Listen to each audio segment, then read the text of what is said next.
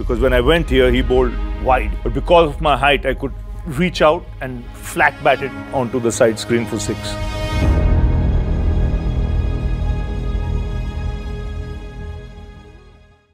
My daughter always fights with me. She's so obsessed with tennis, she can't handle her favorites losing. When I tell her to be fearless and embrace the uncertainty, she says, I'm being preachy.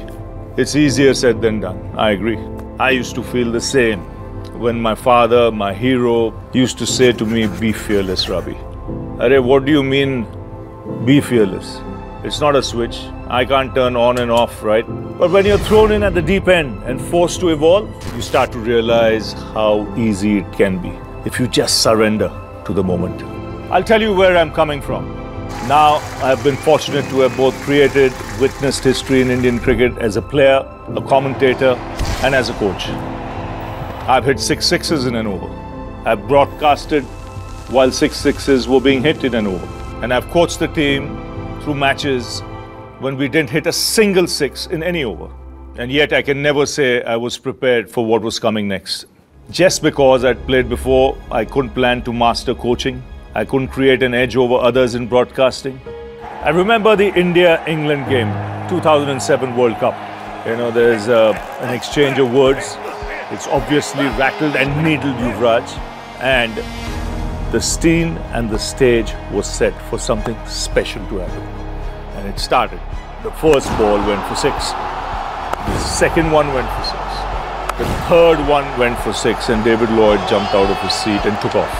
What happened after that was sheer mayhem. I go into my state of mind, having hit six sixes myself, as to trying to anticipate what must be in the mind of the bowler and the batsman.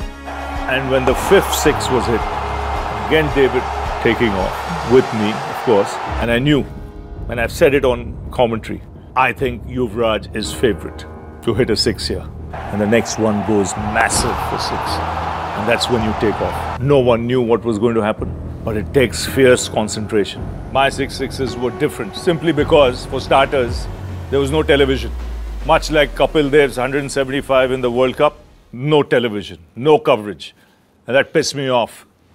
But six sixes was massive. I didn't realize it at that moment of time that only one person had hit six sixes till that time, and that was Sir Garfield Sobers. And I became the second man to hit those six sixes. First class cricket is different from white ball cricket. You know, the, till the fourth six was hit in that game against Baroda, you know, I wasn't even thinking six sixes moment the fifth one was hit, which was probably the biggest of the lot because it went into the hockey ground at the Wankhede. And then I saw all my teammates around the uh, side screen. And I realized that there's an opportunity here to hit six sixes. And I knew very clearly that this guy's head is muddled now.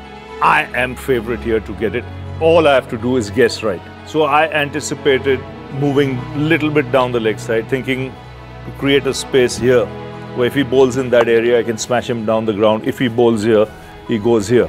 I guess wrong actually, because when I went here, he bowled wide. But because of my height, I could reach out and flat bat it onto the side screen for six. All hell broke loose there, six sixes in an over. I went on to get 200 in that innings, which is the fastest double hundred till today in first class cricket. But still, when I went back home, you know, the penny hadn't dropped. It was only the next day, maybe three years, four years, five years down the line, did I realize that that six sixes is something special. And uh, you realize 30 years after that, still no one had broken it. You know, till Yuvraj came and got it in the T20 uh, tournament, then Herschelle Gibbs got it in a, in a World Cup game in the following year. But it was a rare, rare record. It's a 100% record. So it can't be broken, it can only be equal. When you're playing, it's the bat and ball. When you're broadcasting, it's the mic. As a coach, you have nothing. Once the players are out on the field, you have nothing. Is you can just twiddle your thumbs in the dressing room.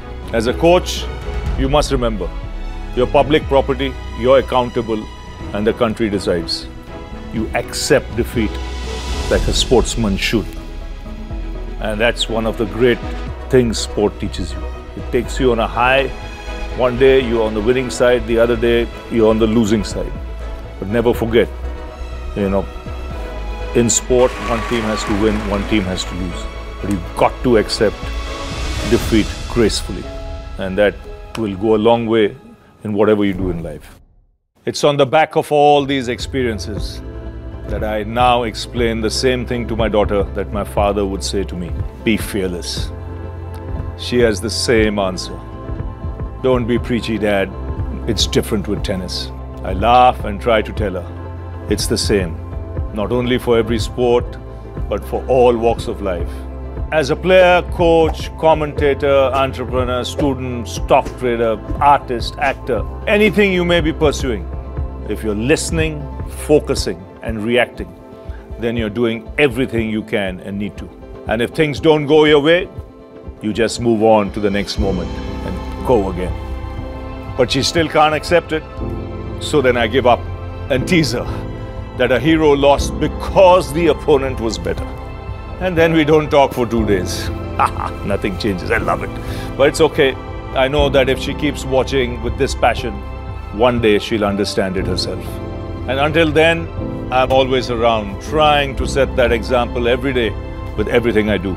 Rebelling in the blankness, embracing the uncertainty, that's the only way I know to play the long game.